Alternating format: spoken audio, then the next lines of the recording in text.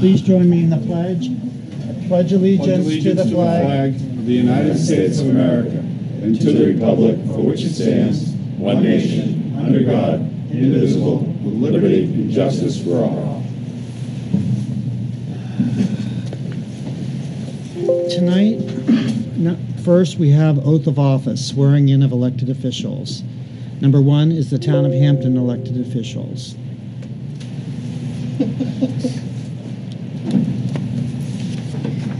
All right, so I need to be sworn in before I can swear anyone else in. I'll let you say it, you already know what it is. I do solemnly swear that I will bear faith and true allegiance to the United States of America and the state of New Hampshire, and will support the constitutions thereof, so help me God. I do solemnly and sincerely swear and affirm that I will faithfully and impartially discharge and perform all the duties incumbent upon me as town clerk, according to the best of my abilities, agreeably to the rules and regulations of this constitution and the laws of the state of New Hampshire, so help me God. Good job, Rusty. It's a tough job, but somebody's is. got to do it, right? No, That's it. Okay, that's Thank it. you. Yep. That's it. All right. He likes that type of duty. Regina Barnes, Selectman. I'm gonna have you fix it, in case anybody wants to take a picture. Raise your right hand, repeat after me. I, Regina M. Barnes, I, Regina M. Barnes, do solemnly swear do solemnly swear that I will bear faith and true allegiance that I will bear faith and true allegiance to the United States of America to the United States of America and the state of New Hampshire, and the state of New Hampshire, and will support the constitutions thereof, and will support the constitutions thereof, so help me God. so help me God. I, Regina M. Barnes, I, Regina M. Barnes. do Barnes, solemnly and sincerely do solemnly and sincerely swear and affirm swear and affirm that I will faithfully and impartially that I will faithfully and impartially discharge and perform discharge and perform all the duties incumbent upon me all the duties incumbent upon me as selectman, as selectman, according to the best of my abilities, according to the best of my abilities, agreeably to the rules and regulations agreeably to the rules and regulations of this Constitution of this Constitution and the laws of the state of New Hampshire. and the laws of the state of New Hampshire. So help me God. So help me God. Congratulations. Thank you.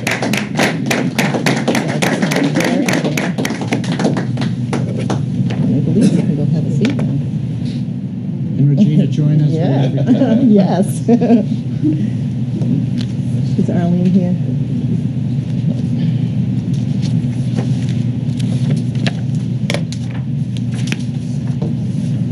Bob Casassa, moderator.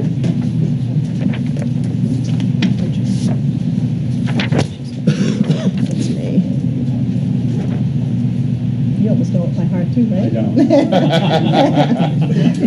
I. Robert Casassa, I, Robert do solemnly swear do solemnly swear that I will bear faith and true allegiance that I will bear faith and true allegiance to the United States of America United States of America and the state of New Hampshire, and the state of New Hampshire, and will support the constitutions thereof, and will support the constitutions thereof. so help me God. So help me God. I, Robert Casassa, I, Robert Casassa, do solemnly and sincerely do solemnly and sincerely swear and affirm swear and affirm that I will faithfully and impartially that I will faithfully and impartially discharge and perform discharge and perform all the duties incumbent upon me. All the duties incumbent upon me. As moderator, as moderator, according to the best of my abilities, according to the best of my abilities, agreeably to the rules and regulations. Agreeably to the rules and regulations. Of this Constitution. Of this Constitution. And the laws of the state of New Hampshire. and the laws of the state of New Hampshire. So help me God. So help me God. Congratulations.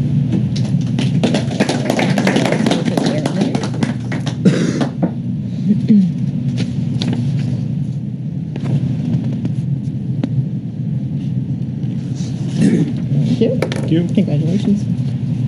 William Hartley, trustee of the trust funds.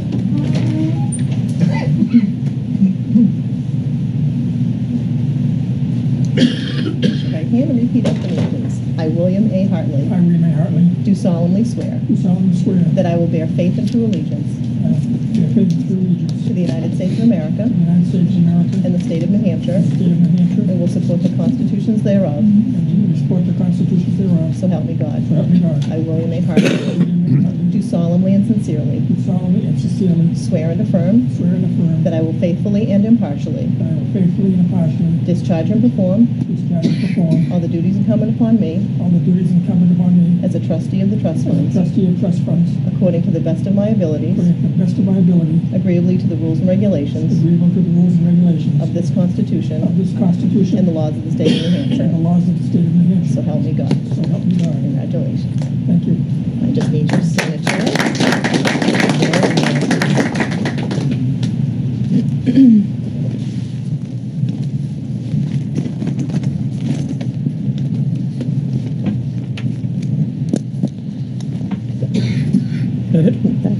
Congratulations. Chris Hendry, Library Trustee. Out of your way. It's okay. Raise your right hand, please, and repeat after me. I'm fine. I, Chris Hendry, I, Chris Hendry, do solemnly swear do solemnly swear that I will bear faith and true allegiance I will bear faith and true allegiance to the United States of to America the United States of America and the state of New Hampshire, and the state of New Hampshire, and will support the constitutions thereof, constitutions of thereof, so help me God. so help me God. I, Chris Henry, I, Chris Henry, do solemnly and sincerely do solemnly and sincerely swear and affirm swear and confirm that I will faithfully and impartially faithfully and impartially discharge and perform discharge and perform all the duties incumbent upon me all the duties incumbent on me as a library trustee as a library trustee according to the best of my abilities, according to the best of my ability, agreeably to the rules and regulations agreeably to the rules and regulations of this of this Constitution Constitution and the laws of the state of New Hampshire. and the laws of the state of New Hampshire. So help me God. So help me God. Congratulations. So, signature there and there, please.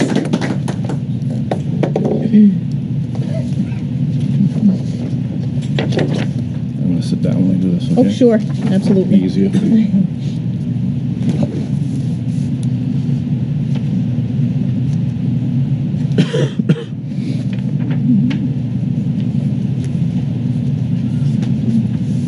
Thank you very much. You're welcome. Congratulations. Thanks. All right, Planning Board, Fran McMahon, Keith Lessard, I don't see him, and Mark Olson. You're it. I'm it. I'll fly solo tonight.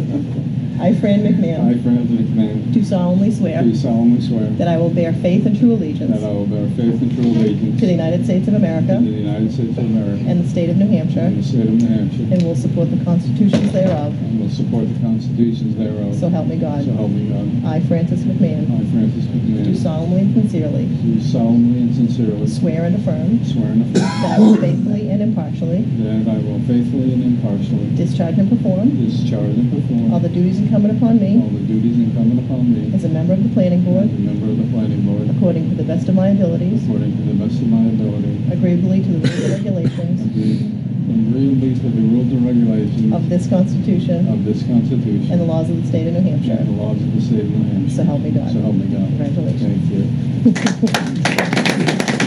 Signature there.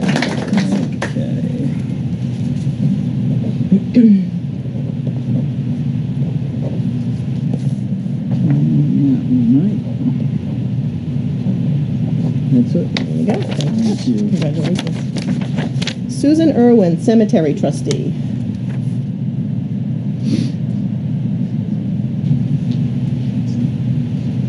Ready? Okay, raise your right hand, repeat after me. I, Susan Irwin. I, Susan Irwin, Do solemnly swear do solemnly swear that I will bear faith and true allegiance that I will bear faith and true allegiance to the United States of America to the United States of America and the state of New Hampshire, and the state of New Hampshire, and will support the constitutions thereof, and will support the constitutions thereof. so help me God. So help me God. I, Susan Irwin, I, Susan Irwin, do solemnly and sincerely do solemnly and sincerely swear and affirm swear and affirm that I will faithfully and impartially that I will faithfully and impartially discharge and perform discharge and perform all the duties incumbent upon me all the duties incumbent upon me as cemetery trustee. As cemetery trustee. According to the best of my abilities, according to the best of my abilities, agreeably to the rules and regulations. Agreeably to the rules and regulations. Of this of Constitution this Constitution. And the laws of the state of New and the Hampshire. laws of the state of New So Hampshire. help me God. So help me God. Congratulations. And that, please.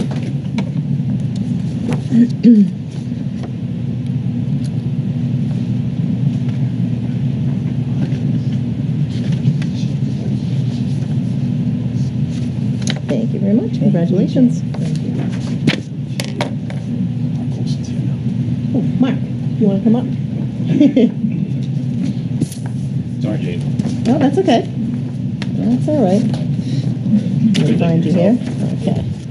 Ready? Raise your right hand, repeat after me. I, Mark Olson. I, Mark Olson, Do solemnly swear. do solemnly swear that I will bear faith and true allegiance that I will bear faith and true allegiance to the United States of America. to the United States of America and the state of New Hampshire, state of New Hampshire, and will support constitutions thereof, will support the constitutions thereof. so help me God. So help me God. I, Mark Olson, I, Mark Olson, do solemnly and sincerely do solemnly and sincerely swear and affirm swear and affirm that I will faithfully and impartially that I will faithfully and impartially discharge and perform discharge and perform all the duties incumbent upon me all the duties incumbent upon me as a member of the planning board as a member of the planning board according to the best of my abilities, according to the best of my abilities, agreeably to the rules and regulations agreeably to the rules and regulations of this Constitution of this Constitution and the laws of the state of New Hampshire. and the laws of the state of New Hampshire. So help me God. So help me God. Congratulations. Thank you very much. could you.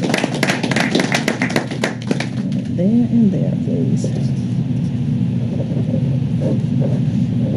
They mess up your uh, Not at all. sequencing. Not at all. Thanks. Okay, Budget Committee.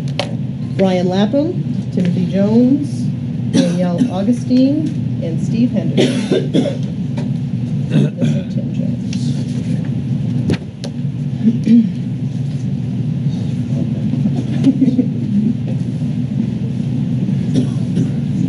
Raise your right hand and repeat after me. State your name. Steve Henderson, Do solemnly swear do solemnly swear that I will bear faith and true allegiance that I will bear faith and true allegiance to the United States of America to the United States of America and the state of New Hampshire, and the state of New Hampshire, and will support the constitutions thereof, and will support the Constitution thereof. so help me God. So help me God. I state your name, Steve do solemnly and sincerely do solemnly and sincerely swear and affirm swear and affirm that I will faithfully and impartially that I will faithfully and impartially discharge and perform discharge and perform all the duties incumbent upon me all the duties incumbent upon me as a member of the Budget as a Committee, member of the Budget Committee, according to the best of my abilities, according to the best of my ability, agreeably to the rules and regulations agreeably to the rules and regulations of this Constitution of this Constitution and the laws of the state of New Hampshire, the laws of the state of New Hampshire. so help me God. So help me God. Congratulations. Congratulations. Congratulations. I just signatures. I'm, I sorry, I only have one pen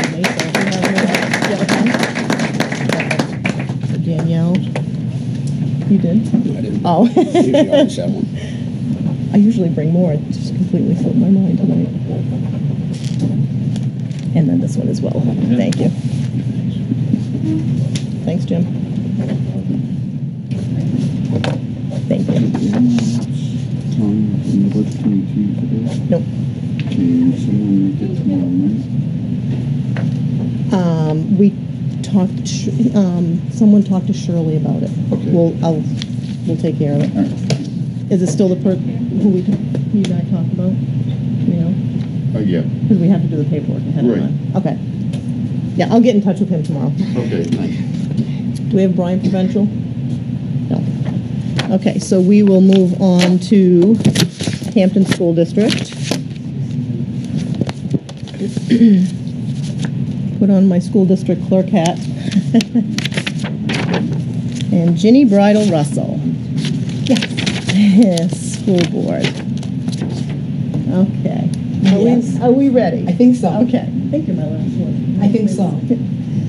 I, Ginny Bridle, raise your right hand, please. Yes, please. I, Ginny Bridle Russell. I, Ginny Bridle Russell, Do solemnly swear do solemnly swear that I will bear faith and true allegiance that I will bear faith and true allegiance to the United States of America the United States of America and the state of New Hampshire, and the state of New Hampshire, and will support the constitutions thereof, and will support the constitutions thereof. so help me God. So help me God. I, Ginny Bridle Russell, I, Ginny Bridle Russell, do solemnly and sincerely do solemnly and sincerely swear and affirm swear and affirm that I will faithfully and impartially that I will faithfully and impartially discharge and perform discharge and perform all the duties incumbent upon me all the duties incumbent upon me as a member of the school board, as a member of the school board according to the best of my abilities, according to the best of my abilities, agreeably to the rules and regulations agreeably to the rules and regulations of this Constitution of this Constitution and the laws of the state of New Hampshire. and the laws of the state of New Hampshire. So help me God. So help me God. Congratulations. Thanks, Jane.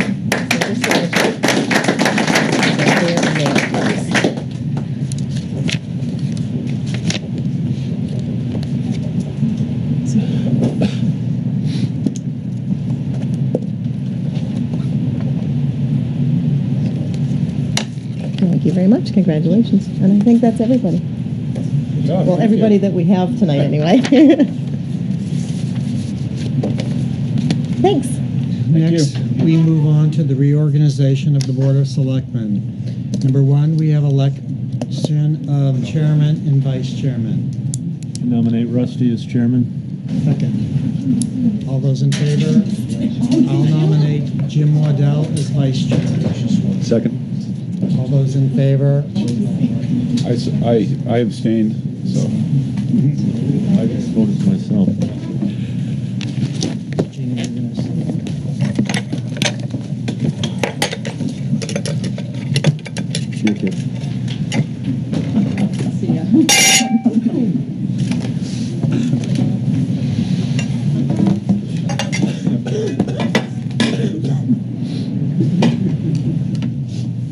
Gotta hold it for Rick. Everybody knows him. He doesn't need a nameplate. Oh.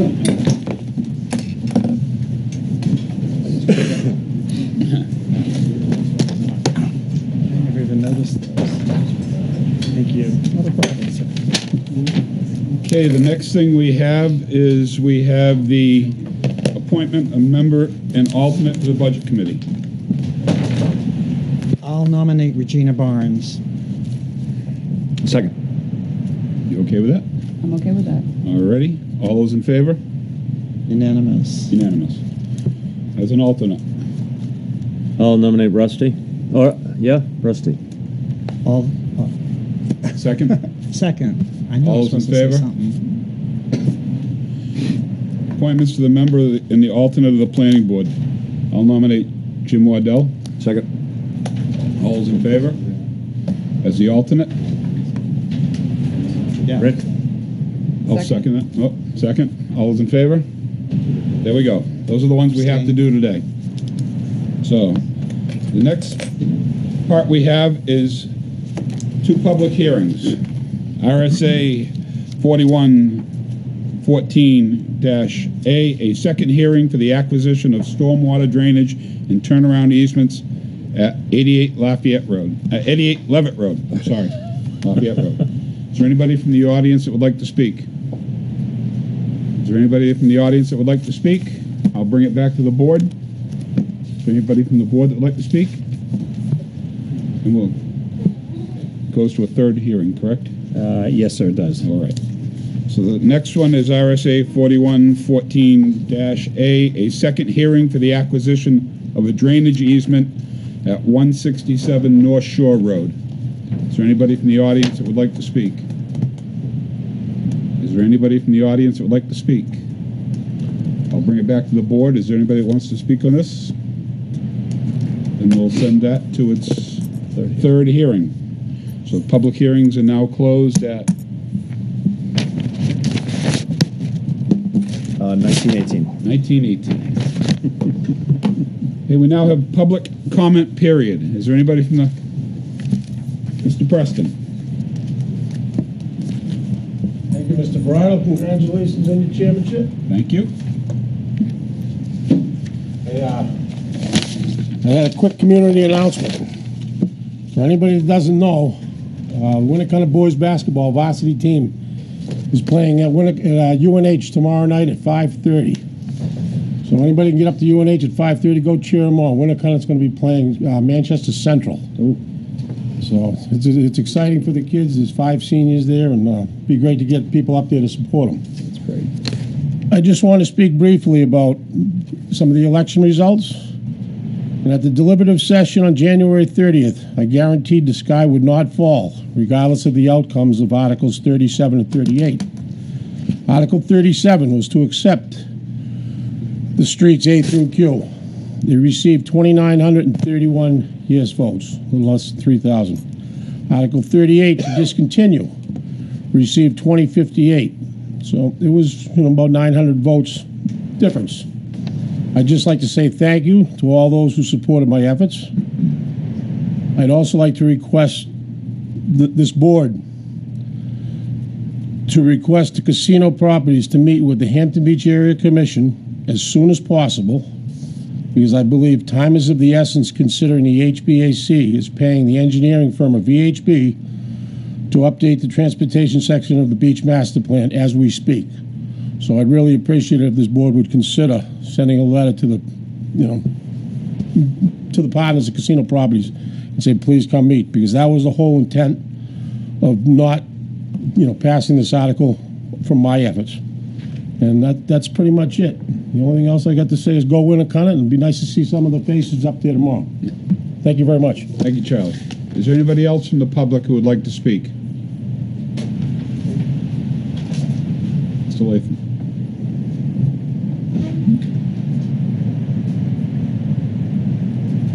Brian Lapham, 27 High Street. I just wanted to welcome you aboard and um, let you know that we do have a meeting tomorrow night, though we're just going to pretty much set up as you are, so whether you come or not, but you can meet the gang Okay. at the budget committee. But welcome aboard and thank you. Thank you, Brian. Anybody else from the public that would like to speak? Seeing not, seeing that, I'll bring it back to the board for announcement and community calendar. Mr. Bean. Thank you. Uh, Great election results, uh, great turnout. Uh, I just want to read a uh, uh, a letter that I sent to um, Mike Edgar, and congratulations to Michael on his uh, his victory. Uh, to- In order for him to be seated immediately, it required uh, candidates not to participate in any recount effort. From Bill- Phil Bean to the Secretary of State, William Gardner, the following are the results of the special election. Phil Bean, 1134. Ken Shefford, 1074. Mike Edgar, the victor at 1467. I waive any rights to a recount of the subject election results. Mike came down the office, picked this up in hand, and I want to uh, commend him and uh, and Mr. Shefford for uh, the professionalism they uh, they uh, exhibited during that election, and in particular uh, the Democratic Party leader, Chris Munns. I thought he did an excellent job. I thought he, I know he did an excellent job and an outstanding job. Congratulations to the uh, Democratic Party and to their candidate on his election. Thank you, sir. Thank you. Selectman Griffin. Um, I uh, was contacted by Dave Harnett and um, Kara, uh, whose dog was rescued by the fire department, Clarence, and they wanted to give a donation to the fire department, and uh, they've got this envelope for Chris, I mean for uh, Chief Ayotte, and um, it's to go to the firefighter that has health issues. Very good, sir. Thank you. Selectman Barnes. Do you have anything for community calendar or announcements? I don't have any announcements. I just want to say I'm glad to be here. Thank you. Jim? Uh, Yes, I'd, I'd like to congratulate everybody who won in the election. I'd like to thank everybody who ran in the election. Thank all the voters for getting out and voting. I think it was uh, there were a lot on the uh, articles and everything, and people paid attention. They get out and they voted, and it was really good. So I, I think it was a great election, and I think it's good omen for what's to come. And I'll, I'll too, just briefly, that, it was a good election. The town clerk and all the, the, uh, voter, uh, voting workers did a excellent job. Our town uh, moderator did an excellent job. Uh, and then people got out and spoke. We had thirty-seven, almost thirty-eight hundred people that, that voted. And, uh, that's better than a usual year that we just have, um, a town election. So I appreciate all the people that did get out and vote. Okay, next is the consent agenda. We have one, a raffle permit for the professional firefighters of Hampton, and we have a one-day entertainment license for a wedding band at 433 Exeter Road. I'll move that. Motion, uh, Second. seconded by Jim. All those in favor? Unanimous. Next appoint, uh, we have appointments. And we have our chief assessor, Mr. Tinker. Um,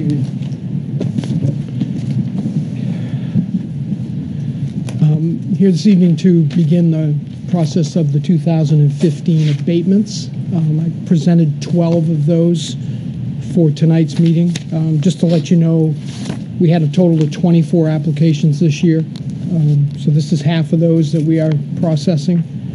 Um, The total amount of refund for 11 of those, actually 10 that were approved, or at least recommended for approval, uh, the amount of $8,365.32. There was one that was recommended for denial, as well as one that didn't require a refund. That's typically the properties we fix between the issuing of tax bill and before the, the due date of the taxes.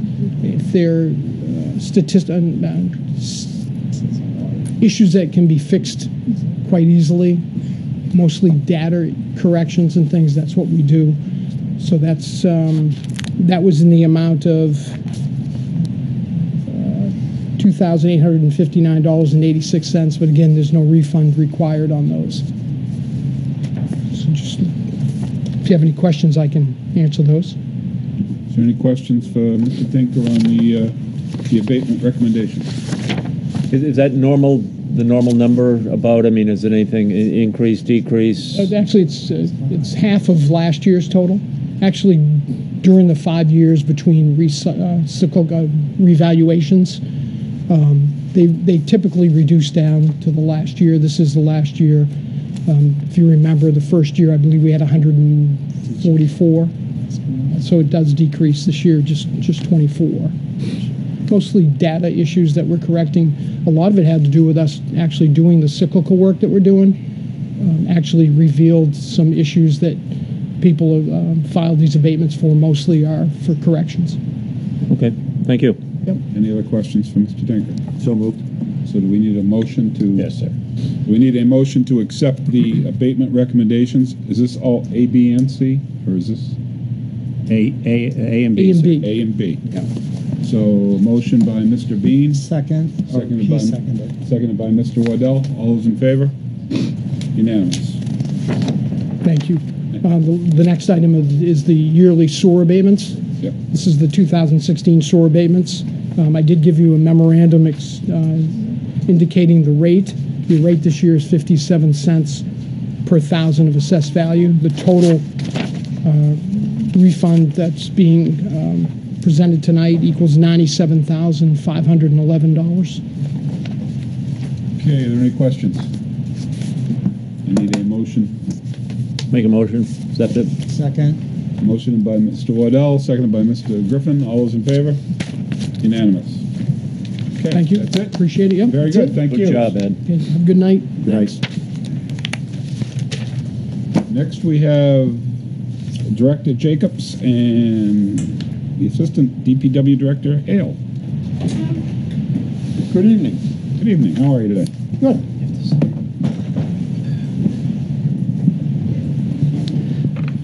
We've uh, flipped a coin and, no, not really. Uh, We're doing rock, paper, scissors. Let's see who Jennifer's the uh, update. got tonight's update for you. I'm going to be the Um, poster boy. For any of you that drove by today, um, yes, we have one piece of equipment down there right now. Um, basically, today we spent the morning taking out the back fence uh, so that the trucks can have full access when they are uh, basically getting the bridges and mats uh, unloaded from the trucks uh, over into the marsh. We also posted them with the uh, police no order parking signs.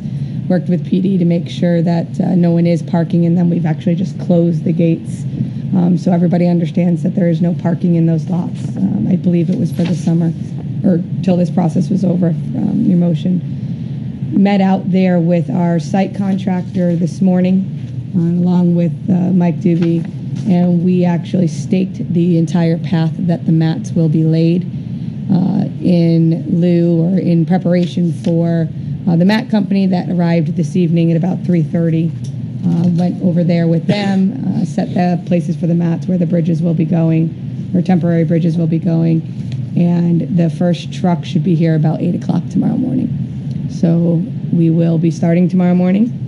Uh, we are hoping that it's a two, three day, two to three day setup. So that would be Tuesday, Wednesday, Thursday, setting up the mats in the bridges, which correspond nicely to the low tides, which will be 12, 1, and 2 uh, respectively for the next few days, which also allows for daylight. And the reason I'm telling you all this is because here tonight, I'm hoping that maybe we can make a motion to potentially work through the weekend. Um, that's where the daylight hours and the tides will coincide. If we wait till Monday morning, so say we finish setup on Thursday, we're not going to want to start digging Friday, leave it Saturday, Sunday, and then Friday, uh, Monday morning, low tide is at 5 a.m. So this way they can just work through. Um, I'd love to be done by Sunday. Wouldn't that be fabulous? Um, and keep moving. But so that was something that we talked about today once we had everybody all together. Um, so that's where we're at. That is the update. Everything is still on schedule. all the pieces are in play. That was sort of the one piece that came up today. Any questions from the board? Mr. Bean? No, sir. Thank you. Mr. Griffin? Um, so, what do you wear when you go out there? Do you wear Well, boots or? Uh, um, just curious. mud boots. Uh, it's recommended that they go up sort of towards your knees because you will find wet spots and slosh in there. Um, I have worn three different types of boots. I'm on my third pair right now. I'm very excited about it. They fit much better. Um, once the mats are laid, it will be uh, more of an accessible path, meaning I won't be as scared walking out there. Um, I do want to remind everybody, and maybe this is the forum, that this is going to be an active construction site. Um, as exciting and neat as it may seem to some people to want to come and poke their heads in, we just ask everybody. It's it's public land, but just be respectful that it's a construction site. When we have machinery out there, we will have hard hats on. Um, that's part of how it works um, the path out there when there is an excavator or a dump truck going up and down the mats. They can't pull over for you. You'd have to get off the mats. I mean, you can walk it as a human. It's the machines that need the mats. Would it have been easier or harder if uh, the marsh was frozen like it is many years during this time? I think there would have been the pros and cons. Um, you know, the pros. Wouldn't have been impossible. It, it wouldn't have been impossible, no. And, you know, with the luck we're having, it was beautiful the last week. Now that we're going to do something, it's going to be miserable and cold and windy out there, And but so- not frozen. What do we have to do about working over the weekend? well, the town code, I believe, says that we can work Monday through Sunday, but the hours are restricted. Uh, the hours on Saturday are at 9 a.m. Uh, to 5 p.m. And Fred, please correct me if I'm wrong. Is- Go ahead. Okay. Fine. Um, I'd like to work the seven, have seven to five, because those are going to be the daylight hours. So, what do you suggest, Fred? I would suggest that you uh, vote to uh, authorize them to uh, work from 7 to 5 over the weekend on Saturday and Sunday because this does constitute a health emergency. So, do we need to do make a motion? You need to make a motion and then have a formal vote. Okay, I'll make that motion. Thank you. I'll second it, but I just wanted to. Yeah. Uh, I mean, the reason you want to work on the weekend, just so people, you know, in the public knows that just not getting in there for convenience sake. I mean, it's to coincide with the tides, right? Coincide with tides, coincide with daylight. Um, as you saw tonight, it was still light at seven, but at 6:30, 6:15, it was dark this morning. So if a low tide's at 5 a.m., I'm in the dark. Yeah. So I'm, I'm it's for both daylight and tide cycle. Okay. Yeah, I mean, so, I mean, i- i- if you wait, then it just throws you off schedule, makes things slower. It does. Yeah, just so the public understands that, that there's a reason we're doing it. It's not just, you know, people, there might be not noise, might convenient be. for ir- the contractor and the mat company. Yeah. That is certainly not it. In fact, they go above and beyond so that it can happen. Right. And will it increase our cost? No, it will not. Okay, good. Thank you. Any questions, Regina? I don't, I think that it's great if you do it over the weekend. I think that we should uh, try to get to the bottom of the problem as quickly as possible. We agree. So I have a motion and a second. All those in favor? Unanimous. Thank you. I'd just like to say that we, people shouldn't be walking out there while you guys are working. I would Shouldn't be not walking out there, encourage it. We should, they should not be out there at all. We don't, We don't encourage it. I just, I don't want to offend anybody, but that was my, it's a, it's a safety thing, everybody. I mean, this is a construction zone. This would have been no different than when we were doing High Street in the middle of the night. You know, we asked people that were not part of the construction crew or the engineers to not be, you know, walking around the, the trenches. I mean, that's in essence what we're doing. We've had some people inquire, could they? And I'm expecting that maybe members of the Conservation Commission, maybe a budget, I, you know, some other concerned citizen, alls we ask is that they coordinate with us. And that's it. They have a Coordinate with contact us. you. We'll Right. happily, you know, see what we can do. I'll add- I'll add to Probably that. will escort them. I'll add to that, Mr. Chairman, that I've instructed the Public Works Department to have people available down there for protection uh, during the night hours when they're not working. And uh, if somebody does venture onto the site uh, during that period of time, the instructions are to call the police.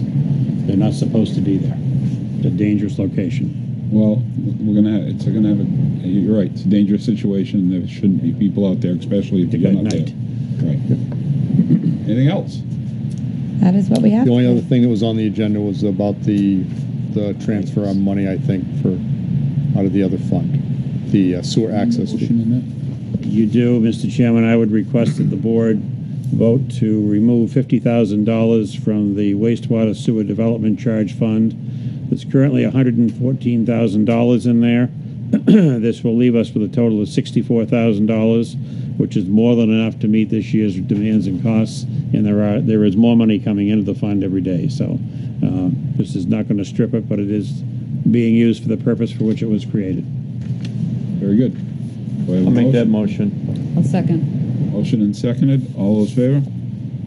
Unanimous. There Thank go. you. Okay, I have one other, just one other question, if I may. Sure. There's nothing new to report or anything. I mean, everything is, is still status the way it was. I mean, Everything is still status, and Yeah. if there, anything does change, you will certainly be. Right, so the first. public knows that the, the, the the one pipe's still operating properly and Correct.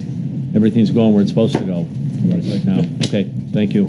Thank you. That's a good thing. Okay, Good night. Yeah. next we'll have the approval of the February 29th, 2016 public session minutes. I'll make that motion.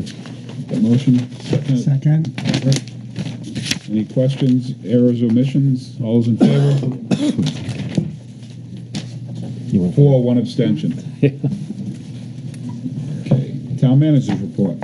Mr. Chairman, members of the board, I'd just like to say thank you to everyone for taking the time from their busy schedules and lives to vote in our annual town election last Thursday, last Tuesday. Um, It was a big vote. Thank you for coming out. Uh, It was appreciated by all those who worked at the polls and have worked very hard to set up the election for the citizens of the community. Those interested in applying for veterans, elderly, and blind exemptions should come to the assessor's office for the necessary required forms that must be submitted not later than April 15th, 2016. Residents of the Hampton Beach Village District who wish to apply for the alternate tax rate and billing will need to file the necessary applications available at the, at the assessor's office not later than April 15th. We recommend that after review that, that the selectmen approve and sign the intergovernmental agreement with the school for the town clock. The question of the operation of the bell should be an operational concern that the selectmen can direct any and all operational requirements via written policy. Until a written policy is approved, we recommend the bell be held from withheld from operation. That'll allow us to do some testing and so forth, and we'll find out what annoys the school, what annoys the neighbors, and adjust accordingly. Um, Mr. Chairman, I also have uh, some information. Uh, We had a vote on House Bill number 1198 this past week, and the purpose of that bill was to set values for telephone poles. Uh, The result of that vote, and of course, it's not over with yet because it's got to go to the Senate, but it's also not over with yet because there's going to be a sliding scale of depreciation applied to it would indicate that uh, we're going to lose somewhere around a million plus dollars in valuation for the town, which means everybody in town is going to have an increase in their tax bills. Um, I do note that only one of our representatives voted against this bill. So um, if there's thanks to go around, I suppose it's the legislature for passing it. We'll see what happens in the Senate. Um,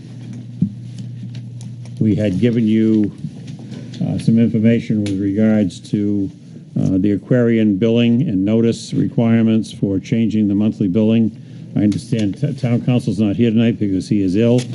Uh, I believe he has filed uh, some information with the, the Public Utilities Commission, and he's currently working on making a filing with them to appeal that decision, uh, which, or the pending decision.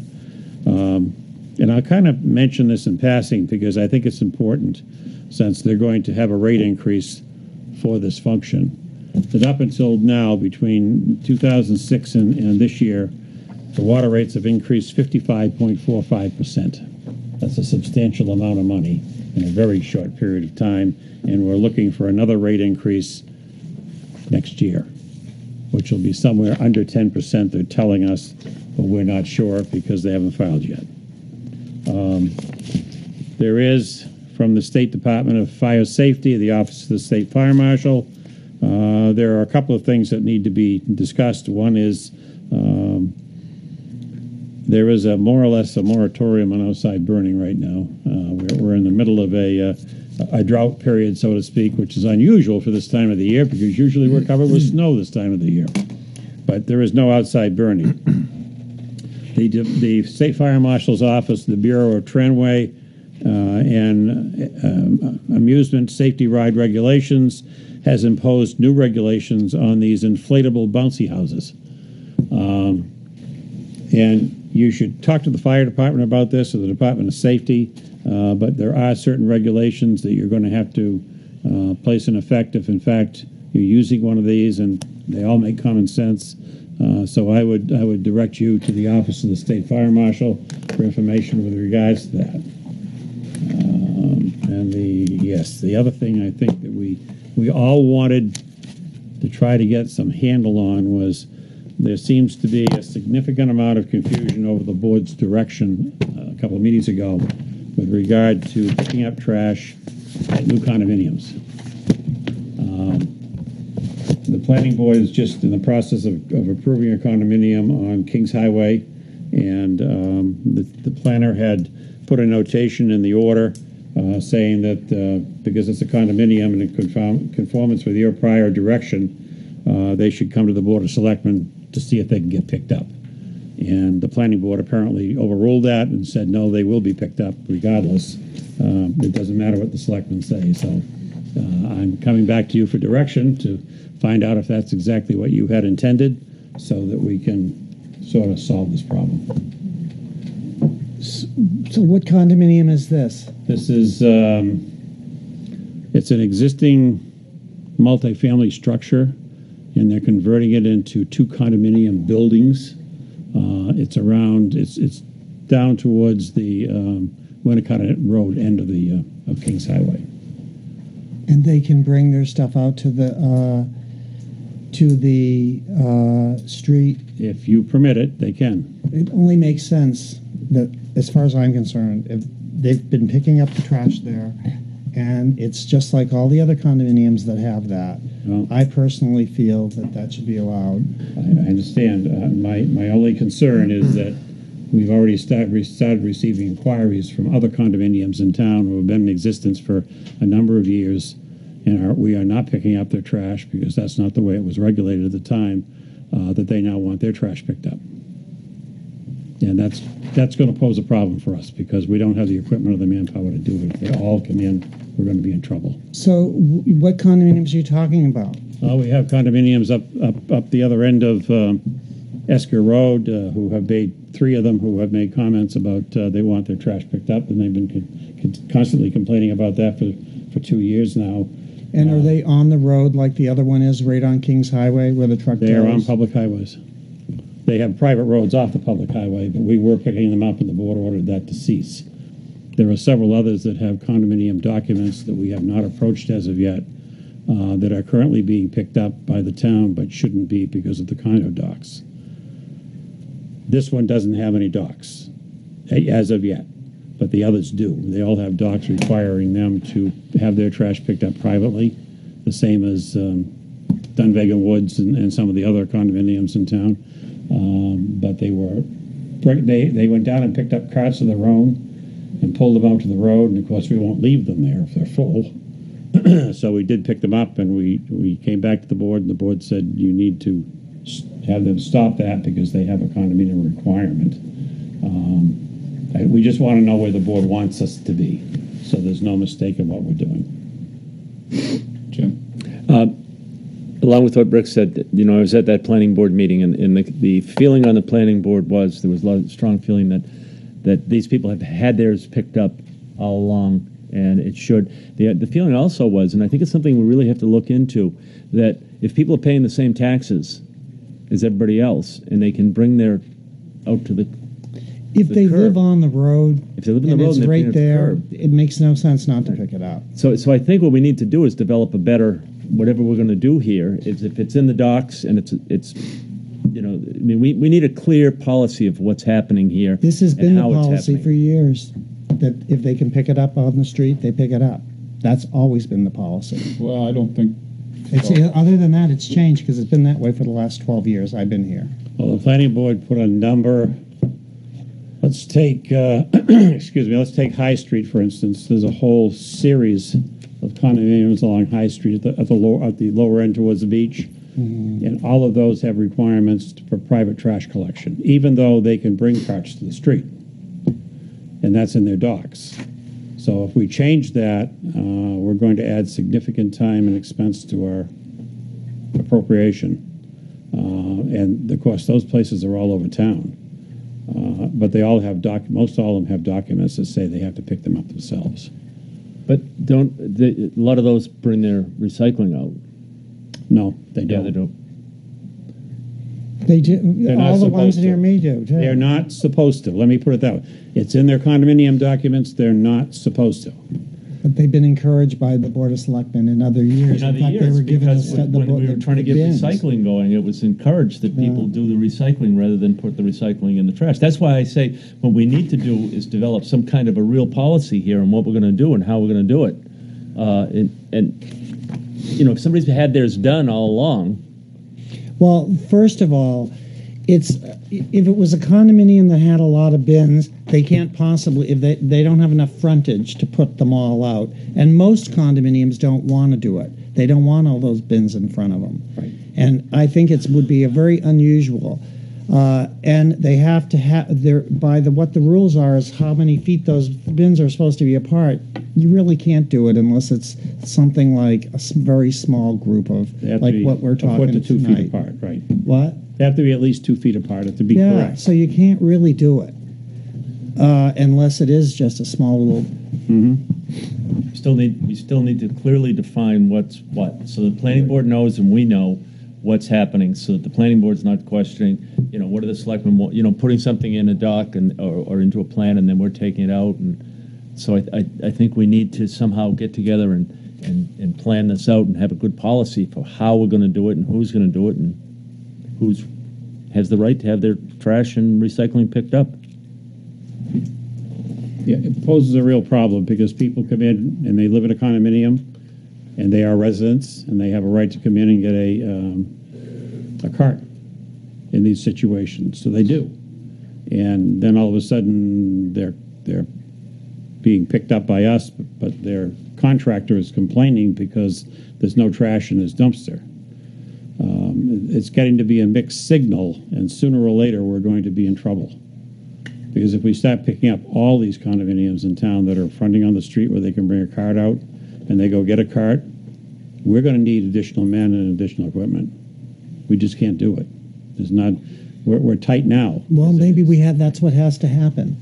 The thing is, we you know we've got to give people what they're paying their taxes for, and I think that um, for how many condos are this is this one that you're referring to now? That's in the, the one. I believe there's eight or nine on this one. Yeah. Yeah. I think that's the number. So and uh, and they uh, the, obviously the planning board's already gone over the plan. They probably don't have a place to put any trash. Well, uh, I don't know. They had to they had to come up with a place to put the bins when they weren't being used. And they did. Yeah, I, I don't remember the exact, but I'm giving you the general of what the discussion was. Yeah, In this case, they would have to bring the bins out bins the in street. and you know have the bins stored off off the uh, street. They're not going to leave them on the street, so they did have a place for that. Yes, but the whole fact was that they were having them picked up anyways prior to this. And I think that if if they're directly facing the street, I mean, I don't see people taking um, bins from down the street and co- going up to another street and leaving them up there. That to me wouldn't probably wouldn't be right. But if the, you know they're right there, and they can withstand uh, the criteria of not having the bins. You know, you could only have so many bins Right. in order because of the square footage. But again, I'm just going to stress I think we should have a clear cut policy so people know what they're doing rather than just saying this guy can and that guy can't and we'll put the plans in this one, you know, and, and, and leaving it vague and open for interpretation. We- We need to develop something. I think more than that, the selectmen need to be consulted before that decision's made. But you may find yourself with a 300 unit condominium that we're picking up. It doesn't that can happen anytime along the line, depending on where the where the carts are and where The they're left out. trucks aren't supposed to go on. Pri- it's never really been a problem. It's starting to be a problem. Well, now all of a sudden it's a problem. But before it was always just they approved it and it was it worked out fine. And the people brought the bins out. You know when if it was if first of all no I've never seen anyone come and asked where it would have been unreasonable where they would have had too many bins or I mean people don't want that. Would you like to have in the condominium where you live uh, 70? You do? yeah. You do? The, the the recycling we put out, and it's not a, it's not a problem. Recycling, yeah. We we, t- we take care of our But you don't trash. do your trash. No, and Yeah. we put the recycling And that's out pretty much what everybody all was encouraged to condominiums do recycling. Right, but he, he, he's not just talking recycling, he's also talking trash. Right, but that's why I'm saying again, that's fine. Just get a let's get a policy so everybody knows what we're doing. We need one because we're going in two directions at the same time Yeah. for different reasons. Why don't and we, put a can't do number on it? But an arbitrary number, how can we do that? I mean, Well, we're talking, uh, you know, first of all, I couldn't see, uh, I, I guess most of the ones that I see probably are recycling. Most condominiums, uh, I think we need to know how many are doing it, what what the what the uh, what the strain on the manpower is, et cetera, et cetera. I I think we need to know some facts before we develop a policy. I don't think we should sit here and just come up with a policy that's a random number that we're gonna, or just say anybody new now has to get theirs done a new way. May I, Mr. Chairman? Yes, sir. Are you two done with your dialogue? Okay, thank you. Uh, is this on the agenda somewhere? Well, it's part of his, Part of my report. Where's it? Where's it? What number is it? it's his report, it's the bottom one. All right, where's that? Okay. Town manager's No, I'm report. sorry, no, I'm not, it's not. Is this on the agenda? No, no, it's not. Okay, it's not on the agenda. We don't have any facts. I don't know what we're talking about. Um, so we can keep on talking, but rock and roll. Um, Do I pick up the ones that the planning board have told to, to, to put their material out in the street for from a condominium, or don't I? That's the question. Mr. Chairman, so it's, it's not on the agenda. I don't see it. Um, I think we need some Can facts. this wait till next week when we have, we can put it on the agenda? We certainly can. Um, I'm sure there's not gonna be trash between now and then, and, Yeah, there's people living there. We're picking trash up. Yeah. but are they condominiums now, or are they still rentals? I can't answer that. I'm not, not the planning board, so I don't know. I don't know whether they filed that document or not. They've been picking them up before, but what do we need to do to, at this point in time, to make sure that we're sending not mixed messages? My concern is that we have a number of other condominiums in town that are directly fronting on the street that currently take care of their own trash, and they pay very high prices for it, as, as, as Rick knows. Okay, if all of a sudden we end up picking up hundreds of additional barrels because they, they come down and ask for them, then we're going to have a problem, and I, I can't solve that problem overnight. I just don't think that's So, happening now. so if we say that our policy has not changed, If they're currently not being picked up, they shouldn't be picked up. That's that's kind of where I want to go at this point. I don't want to encourage a stampede. Is what I don't want to do, because I think that will cause a lot of problems. until we can address this, Yeah, you need to have a better. policy. so we, I recommend that it's on the agenda for next week, No problem. and that we come up with some ki- some specifics so we can talk in specifics and not just chit chat between Rick and I. That'd be lovely. And can we get a DPW chop on this as well, Mr. Oh, yeah. Chairman? Thank you. yes, because it'd be nice. uh, They're the ones who, who are hauling the trash. Well, they, they spoke about the concerns last time when they were in about the costs. So I think They it'd be did. good, They good to did. have them. Yep. Okay. We just, I just want to say one more thing though. About the cost, we still have people coming in and there's uh, tax revenue coming in. So if this is a ploy to hire new employees, I mean, why don't we just put that out there? Because that's what it sounds like it is for me. No, I don't want to do that because first of all, I can't. Okay? When we reach our maximum absorption and we, we, we actually fill the schedule for the entire day for each day of the week, and there's still significant trash to pick up, then these people are going to go on overtime and come in on the weekend to pick it up. It's the only way it's going to get done. And of course, when we get into the summer, potentially that gets to be a bigger problem. So, what I want to do is I want to head off a problem before it gets here, so that we have a clear understanding of what we're doing and why we're doing it, so that we, when people come in and say, I'm a resident. I live here. I want a cart. That's how we started with these streets up off Esker Road, and we ended up with 20 or 30 extra carts out there on the side of the road, and we started picking them up and found out they had condominium requirements for them to take care of their own trash. And their complaint is, "I pay taxes. You have to take it." It sounds to me like they made a mistake to give them the carts. Well, if they weren't in condiment, I mean, I don't disagree. you just can't give them out to anybody. That's where the where the barn, the horse got out of the barn. Well, that's where it yeah. happened. So I think, I think. This never happened before. This is the first time this has happened. So I think what we need to do now is, before any carts are given out, we've instituted a system where they come in and sign up for the cart. Uh, if it's on the weekend, they have to sign a sheet. We'll deliver it. So that goes out on Monday after we check on whose it is and whether or not there's a problem with that particular condominium. So that we, we don't try to get into that situation. And before we had part-time people working and they came in, their instructions were, if they're a resident, you got to give them a card if they demand one. And that, that's what was And happening. that And was we a mistake. that. That was a mistake. well, we've, we've corrected that. So, right now, we do have a policy, correct? Yes. On, on this? Yep. So, until next week, that policy is still in effect. Yep. So, Absolutely. and we will have something next week that we can, We'll have Public Works work up some figures for you. okay. Anything else in your report? No, that's fine. Have any questions for the town manager? I do. Yes, sir. You had talked about uh, uh, our legislative delegation. I did. Uh, Yeah. Can you rehash that again? Because uh, um, I think that speaks uh, volumes to uh, uh, our representation, our warning uh, to the citizens of Hampton on issues that involve taxation. So I'd, I'd like to hear that again. Uh, And I would like uh, our legislators to come down and uh, explain themselves to us on how we can be taxed excessively in favor of utilities. And then I would like to dovetail and segue immediately into the um, 400 million that was um, uh, lightened on the tax by Nextera.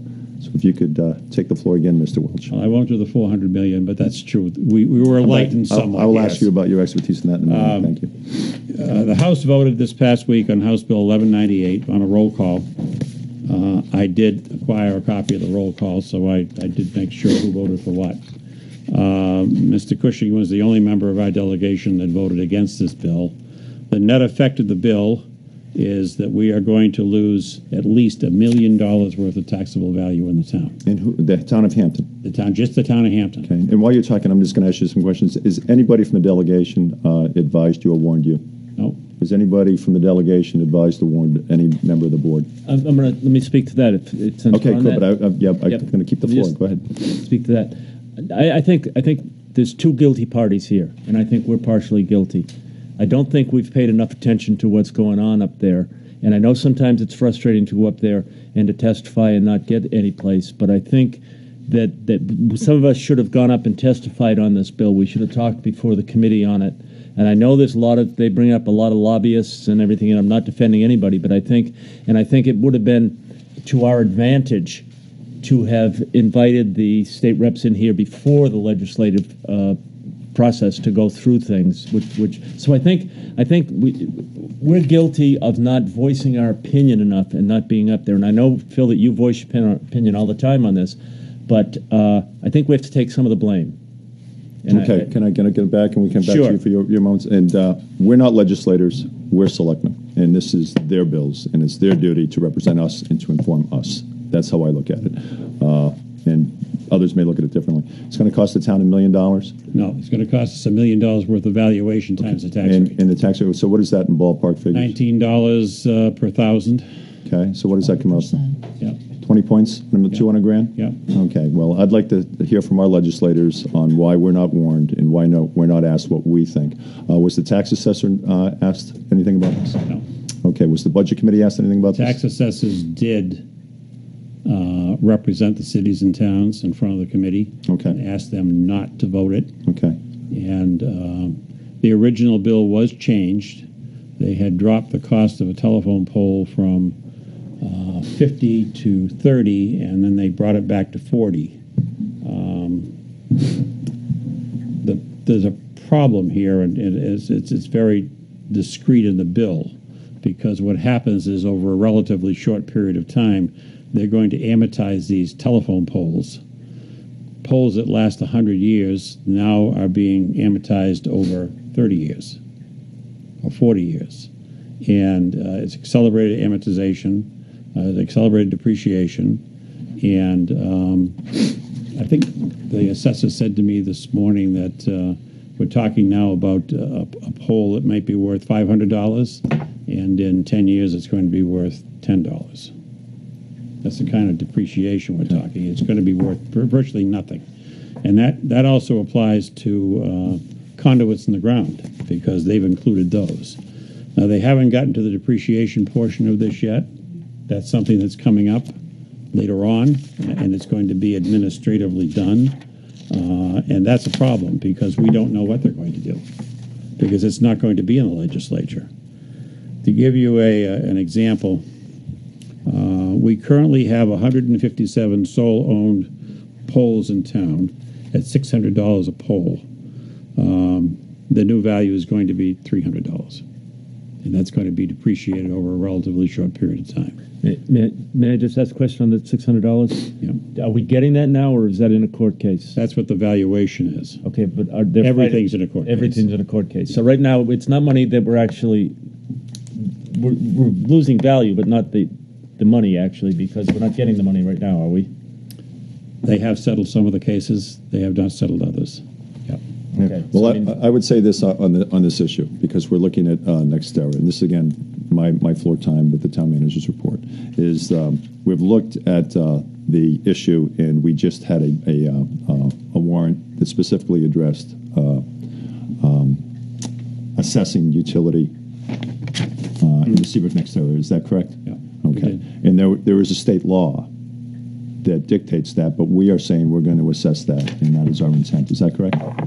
Our intent is to because we just passed a warrant article. Okay, and there is a state law that governs that, and we take a utility commission's or the state's recommendation on that on that value, and that's the one that is used. Is that correct? it's- No, we do not. We, we actually value the property.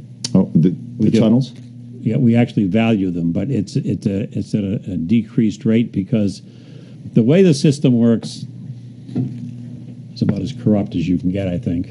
What happens here is each utility is required annually to fill out a report, which goes to each city and town for their property located in the town. And they have the privilege under state law of assigning what the value of that is. If we differ with that value, we have to hire an expert to prove the difference. If not, we have to accept their value or be subject to court action. Okay, and we have done that with that warrant. Is that correct? We have started that process to value all of these properties because the Constitution says we have to every five years. Okay, and it would be my my intent based on this because we we can't stand this kind of representation uh, where we lose two hundred thousand dollars a year. We're trying to run a town here, and big business interests are are working the legislative process in Concord without warning the public, without warning the representatives from the small local governments. That is our representatives' job to do that for us. That's why we elect them. Mr. Cushing is is doing that on this issue. He And I'm- voted yes. And I'm confident that Mr. Edgar would, would, would have done the same thing and will do the same thing. And that's the standard we expect of our legislative delegation. We try and get people pay raises, we try and keep the tax rate low, and people in Concord wearing orange badges, gathering around the flagpole, and taking $200,000 out of this tax bill. We're addressing the Seabrook issue, and it will be my intent, however, these people that hang around the flagpole, no pun intended in Concord, that we do the same thing next year. And we assess this, and if necessary, we will institute a tort action to change that.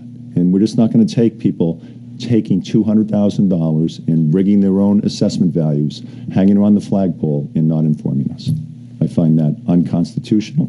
I find it un-American. I find it a sordid business practice, and it, it riles me. And then finally, this legislative bulletin, as informative as it is, comes down to us. This is dated 11 March, Yep. and they're telling us about history. Is that correct? Is, these are things that have all happened. And to speak to Jim's point, um, where we need to share some responsibility for this is we need to, and as you know, I had a hat in the ring in this last delegation. It was one of my intents, uh, and we'll do it now uh, from from this view, is to make sure that we get reports or some system where legislation that is coming down that affects Hampton goes not only to the Board of Selectmen, but to department heads, if it's a law enforcement issue, a fire issue, an assessing issue, that we're warned. Otherwise, we don't need these legislators up there. They serve us no value. They cost us money. We just don't need them. They can go vote on whatever they want for their, their, their party interests, but the Hampton interests are being ignored by this delegation. And I'd like to have them down here in the spirit of cooperation to, to in a technology-based society where we and our department heads and our citizens can act in our own self-interest. Because right now they're they're hoarding the information, they're they're they're adhering to special interests, and it's costing us hundreds and hundreds and hundreds of thousands of dollars. And I appreciate you bringing it up. Thank you. I will tell you that we all belong to the various associations, and those associations do track all this legislation, and we do have representatives that go and testify on all these bills, but we're always outvoted. Oh, we, we need a, a, a, again. We need to be forewarned, and and then I've said my piece, and I don't want to. I don't want to ramble no, on. no, we need to be forewarned. Thank you. Yeah, yeah. I just just quickly, I just want to go. I mean, NHMA does send us bulletins Yeah. prior to things coming up. I mean, they do send us history, but they do send us prior to coming up. The House Journal is is uh, in calendar is produced. It is online. We can look at it. We know what the the uh, hearings coming up are, and we should be attending more. And the other thing I'm just going to say is. Um, I don't think we can really say that our delegation is ignoring us. I, I, I think that Senator Stiles does more for Hampton than any senator up there does for their district. I mean, she is she, she is constantly contacting Rusty, myself, contacting people, saying this hearing's coming up, that hearing's coming up. Are you sending somebody up? You getting up here? She's constantly discussing what's going on in the town, what the town needs, what kind of. Uh, so I'm gonna I'm gonna disagree 100 percent on that one with you, Phil. But uh, representatives, the problem is that people might see it differently, but I agree that we need more for Hampton, but I agree also with what the town manager had just said, that you've got to go up there and work the system, which you might not want to work the system, but you've got to because there's 400 legislative representatives. And what we need to do, and what we've done in the past, has always been the department heads have gone up there, and the town lawyer, and the town manager, or whatever. Though you know, we need to have representation. There's that's how it's always been done. All the other years I've been here, um, and it's always been good. And there's sometimes there's been, usually there's been a selectman that can go or can, uh, but the department heads should have full, dis- you know, those legislatures should have our department's heads to be there when they need them. And we do send them. And, you know, so that should always be. One thing I can say, and that is that, uh, and I I know this has happened the last two years, I paid particular attention to it. If any one of you call a particular committee with someone on that committee, whether they're your representative or your senator or not, and voice concern about a bill that's being passed, usually the bill doesn't get passed. They want to hear from the selectmen. They don't want to hear from us as appointed officials. They want to hear from the elected officials. No, up and when up there. do where- up call, and up they there. kill those bills. Up and up at hearings where um, you you are you do testify, and it's uh, it's a it's a rigged game, and it's 15 zip, and it's ways and means, and you get smoked. And you've been there with me. Oh, yeah. Smoked a few myself. So, do we have any more? que- Uh, Rick? I have another question about the town manager's report, although it's Sure. not right listed here, but I think you said it, was about the Aquarion. Didn't, didn't you say something about it? Um, Yes, I did. Yeah. Yep. And um, do you want to repeat that again? I believe my comment was um, they're they're currently filing to change their billing cycles, and that's going to represent a twenty-three thousand dollar rate increase. Um, we don't know quite what that rate increase means at this point, but some of the documents that I read today that were sent to us through town counsel indicated that that may be an annual rate increase to pay for monthly billing, and they've already received since two thousand six uh, which is the last 10 years, 55.4% rate increase. And they'll be in for another rate increase next year, somewhere slightly under 10%, we were told. Yeah. And this is something we've we constantly have this issue with them. They constantly are. Uh, it doesn't seem to do any good. Although I think we do have to continue to um, complain. We do. Um, I just read where um, and saw a thing on TV actually about it that uh, the Macquarie Group that owns Aquarion Water, Yeah. they are buying up businesses like Aquarion hand over fist. They just bought two very, hot, I mean, hundreds of millions of dollars. Uh, they have they're making all kinds of money, and yet we're being abused. by an Australian company here at our own water company. Uh, I think it's terrible, and I think that we should be getting more response from the commission that regulates this. We're not even allowed to testify in front of them. Both Mr. Bean and I went up there with the purpose of testifying. They would not let him talk because he was a selectman. Yeah, it's it was terrible. it's just outrageous. The, the Public Utilities Commission is just that. It's the commission for the public utilities. It's not the not the commission for the citizens. They're there just to rubber stamp what goes on, and and that's exactly what they're doing. Well, I think we should continue to protest to our as much as we can. That's what we're doing. We're raising as much cane as we possibly can within the limits of the law. Anything else? Jeannie, you got any town manager's report? I'm all set, thank you. Okay, Jim? I'm set now. Okay, old business. We have the intergovernmental agreement. Oh, that, that's go go. I didn't. I wasn't saying anything. Okay, for the schools at 10 o'clock. You, you mentioned that in your previous report. I did, sir. Um, I did happen to talk to the uh, people that are on the committee. Yep. And they are more than happy to work with us, come up with a policy on the bell. I thought they would. So uh, they were very happy to hear that this was going to be done, and and uh, they were very excited about coming forward and working with it. As they said, once once people start to hear it, they're going to see it was so much different from before. So, Yeah. So do we?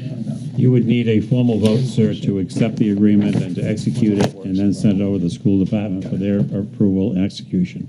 So do I have a motion to accept the intergovernmental agreement? I'll agreement? make that motion. I'll second, but now we're gonna. When's the written policy coming? That's something that we're gonna have to get together with Okay. the, with the committee to Okay. do on your behalf. All right. So that we can get something accomplished. Okay, so- We're quite a ways away from actually putting the. This the just bell in. this just gets the agreement so they can start Okay. with, with what they need to do to, to get the building going. Good. So I have a motion and a second. All those in favor? Unanimous. Start that around. Any other old business? This I probably should have mentioned at announcements and community calendar, but I just wanted to mention about uh, that the Historical Society got uh, an award and recognition from um, the um, DAR, uh, the Ranger Group from Portsmouth. And it was really nice. I attended it yesterday, and there were two kids from Hampton that were very impressive. Um, they wrote, you, um, you know, they presented something that they wrote, and uh, it was very interesting. And the ladies were really nice, and it was a wonderful thing. And Candy Stelmack uh, accepted the reward award, and she works really hard there, and she continues to do a good job. So it was a great thing for Hampton. That's great. Phil's going to sign those. Thank you. So, uh, any other old business? Moving on to new business. Election results discussion. Is that something you put? I didn't put on. I asked for it. Okay. Rick did. Uh, it's something that we traditionally do is discuss what's happened, you know, uh, with the uh, results. I personally would like to say something about um, one of the things I noticed, and I, it failed um, majorly, was the $2 million uh, wastewater uh, treatment center article that had the four parts. I think that a, a mistake was made to do that, um, particularly to put the um, waste, the wash down. I mean, it has been voted down over and over and over again, and I think we're only asking for trouble to put things like that in addition, include it in something where we needed the other three parts of it. I think it was a major mistake, and I think it's something that we should learn from. Um, I yeah, I want to extend on that. I agree with Rick on that. I was disappointed to see that didn't pass, and I think having that two million dollars. I know it wasn't asked to be broken down into different pieces, but I think maybe if it had been, it would have been. I mean, I was at the deliberative session, but as we know, not too many people were, so it would have been easier for people to actually see what was going on. I think they saw the two million dollars, and I know I've had a lot of people come up to me and, you know, DPW is just looking for more money. Well, no, that's not really the case. And I mean, now look at what we're dealing with right now, so. Okay. Jim? Um, no, nothing. Phil? Yeah, we, we, uh, we came into compliance with GASB this year, uh, which shows that we have a $2 million a year depreciation expense. Uh, there's a reason there's a, uh, a request to do that by uh, the Government Accounting Standings Boards. It's so you can uh, gauge uh, the numeric value of something. And that something is the depreciation of your infrastructure. And if we are depreciating, according to standards this year, at our audit, and the auditors would tell us $2 million, the expense of our government is actually 10% more than what we negotiate and what we, we vote ourselves in every year. And if we constantly neglect that issue, and nobody wants to spend money and nobody wants to raise taxes, but we don't want the beach shut down. And we don't want pipes to burst with um, um, uh, effluent.